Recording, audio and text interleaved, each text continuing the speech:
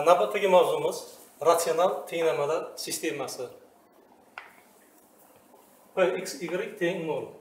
Bu yerda p x y ratsional ifoda. Ratsional ifoda deganda nimani tushunamiz? Ratsional ifoda deganda sonlardan x y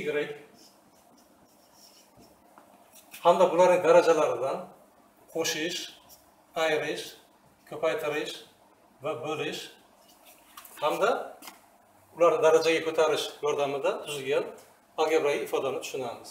Misol keltiramiz. Uch x kvadrat bo'luv x y qo'shuv bir qo'shuv ikki x y kvadrati x minus y. Mana bu ifoda ratsional ifodaga misol bo'la chunki bu yerda sonlar qatnashyapti.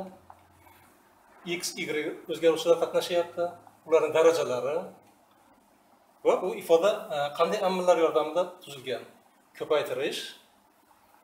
E, Ko'paytiruv bor. Qo'shish amali ayruv amali hamda bo'luv amali yordamida tuzilgan.